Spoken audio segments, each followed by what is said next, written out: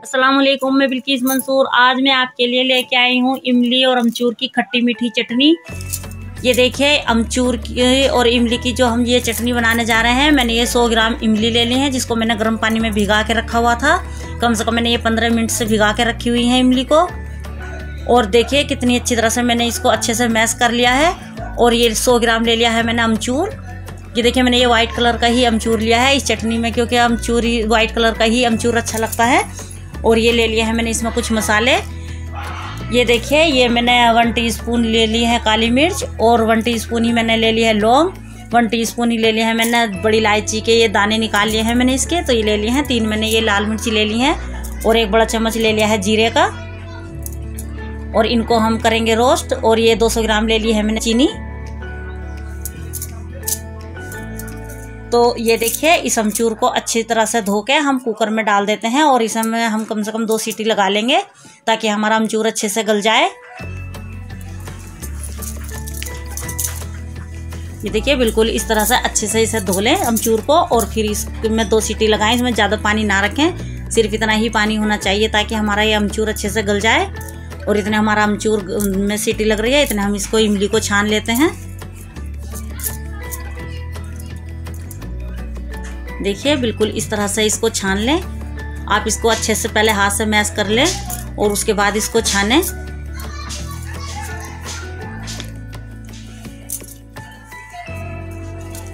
देखिए, बिल्कुल इस तरह से मैं आपको बता दूँ, इस चटनी में हमारी मेहनत बहुत ज़्यादा लगती है।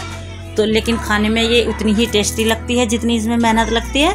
देखिए, ये हमने सारी इमली छान ली है। इसका ये हमने सारा जो गुदा है वो निकाल लिया है और ये बचे हैं हमारे बीज। और देखिए, अब हम इन इन मसालों को रोस्ट कर लेते हैं। ये सारे मसाले हमें थोड़े से डार्क रोस्ट करने हैं। ये देखिए, हमारे मसाले रोस्ट हो चुके हैं। हम इनको ठंडा करने के लिए रख देते हैं, फिर हम दिखाते हैं आपको इसको कूट के। क्योंकि ये हमें मोटे मोटे ही कूटने हैं। देखिए, हमारा अमचूर भी बिल्कुल गल के तैयार हो चुका है। ये देखिए बिल्कुल एकदम ये हमारा अमचूर पीसने के लिए तैयार है। और ये ले लिए हैं हमने मसाले, जिनको हमने कूट लिया है, जो हमने ये अभी रोस्ट किए थे, वे हमने कूट लिए हैं। ये हमारा अमचूर भी अब ठंडा हो चुका है।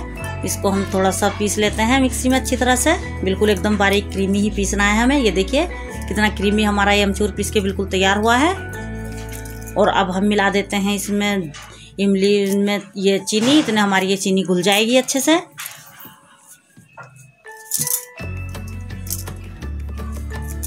तो ये देखिए, इसको हम रख देते हैं साइड। अब ये हम छानेंगे अमचूर जो हमने पीसा है। लेकिन ये अमचूर जो छानना है, ये बहुत ही मुश्किल काम है। बहुत मुश्किल से ये अमचूर छानता है, लेकिन इसको फिर भी हमें छानना ही है।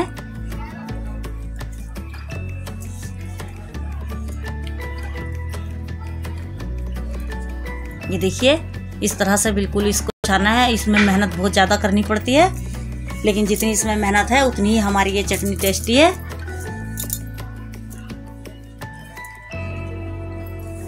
देखिए, बिल्कुल इसी तरह से हमें इसको छानना है। अब रमज़ान आ रहे हैं तो इसलिए हम इस चटनी को रमज़ान तक भी रख सकते हैं। ये हमारी बहुत ही बढ़िया चटनी बनती है, चाहे हमें, हम इसको एक साल के लिए स्टोर करके रख सकते हैं। ये हमारी चटनी ख़राब नहीं हो सकती।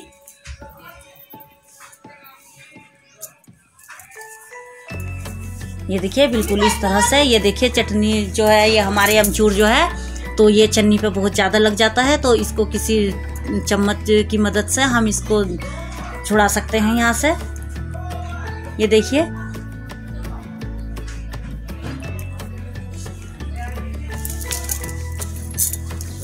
पिसे हुए अमचूर को चन्नी में छानना बहुत ही मुश्किल है। ये देखिए, हमने ये सारा अमचूर छान लिया है और अब हम इसको मिला देते हैं इसमें इमली में। देखिए, इमली और अमचूर को हमने एक साथ मिला लिया है। इसको हम अच्छी तरह से मिला लेंगे। चीनी भी हमारी घुल गई है।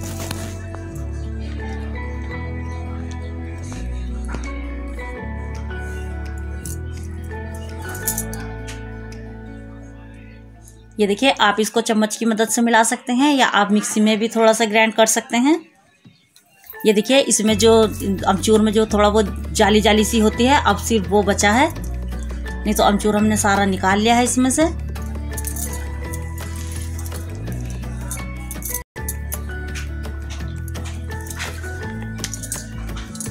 ये देखिए, इस वक्त आप थोड़ी सी मिक्सी की मदद ले सकते हैं इसको अच्छी तरह से मिलाने के लिए।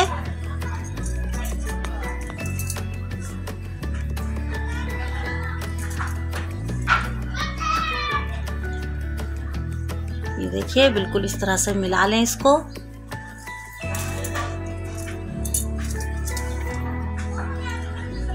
ये देखिए, बिल्कुल मैंने इसको मिला के तैयार कर लिया है। ये देखिए, हमारा ये थोड़ा थिक भी हो गया है। अब हम इसमें डाल देते हैं मसाले।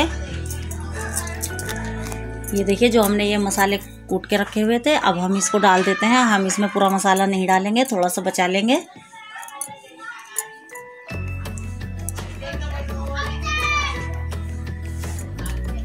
ये देखिए, जो लोग थोड़ी तीखी चटनी खाते हैं तो वो इसको पूरा डाल दें। और हम ज़रा थोड़ा मसाला कम खाते हैं तो इसलिए हमने इसको बचा लिया है।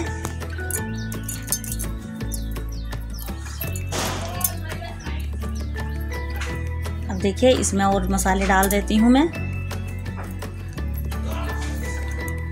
ये देखिए हाफ़ टी स्पून है वाइट नमक।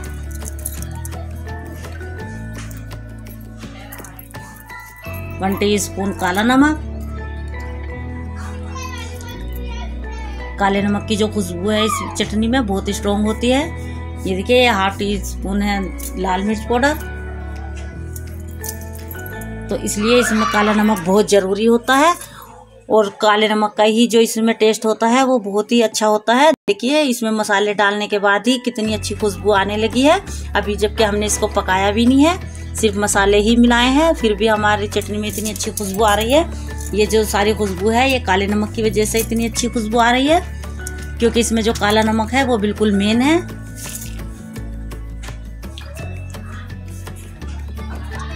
ये देखिए, मसाले हमने अच्छे से मिला लिए हैं।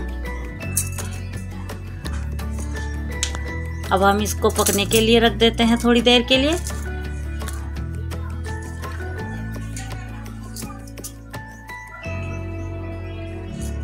देखिए, हमने ये बिल्कुल अच्छे से मिला लिया। आप इस वक्त इसमें नमक भी चेक कर सकते हैं और चीनी भी चेक कर सकते हैं। ये देखिए, हमारी चटनी पकनी शुरू हो गई है हल्की हल्की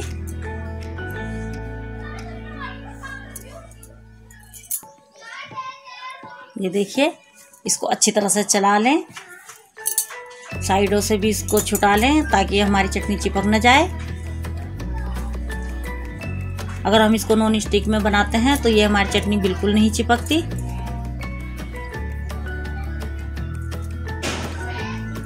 ये देखिए, हमने इसको कर दिया है कवर, क्योंकि इसमें ये पकते हुए बहुत उछलती है चटनी। तो देखिए, आप देख सकते हैं, हमारी चटनी अच्छे से पकने लगी है। अब हम कर देंगे इसका लो फ्लेम। लो फ्लेम के बाद हमें इसे कम से कम छः से सात मिनट के लिए पकाना है।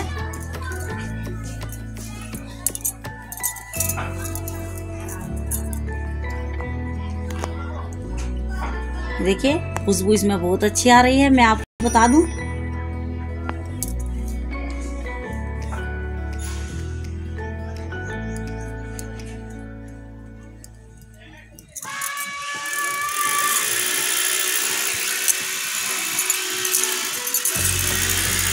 ये देखिए, आप देख सकते हैं, हमारी चटनी बहुत अच्छे से पक रही है। देख के ही आपको लग रहा होगा कि हमारी चटनी कितनी अच्छी तरह से पकने लगी है। अभी हमारी चटनी बिल्कुल पक के तैयार हो गई है।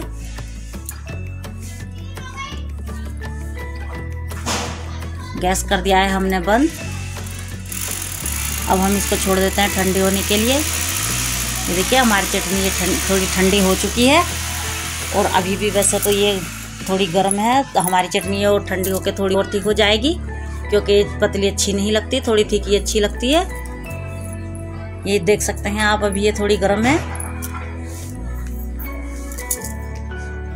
ये देखिए, बिल्कुल तैयार हो गई है हमारी ये चटनी बनके। आप इसको कितने भी दिन के लिए रख सकते हैं, और आप इसको किसी भी चीज़ से खा सकते हैं, दही बल्लों से खा सकते हैं, आप इसको चाट में डाल सकते हैं, पूरी से खा सकते हैं, पराठे से खा सकते हैं। बहुत ही टेस्टी हमारी ये चटनी बनी है। मेरा चैनल अगर आपने सब्सक्राइब नहीं किया हो तो आप प्लीज़ उसे सब्सक्राइब कर लीजिए। मेरी वीडियो अगर आपको पसंद आई हो तो इसे लाइक ज़रूर करना। फिर मिलते हैं अगली वीडियो में। आप अपना और अपने परिवार का ख्याल रखना। अल्लाह हाफिज़।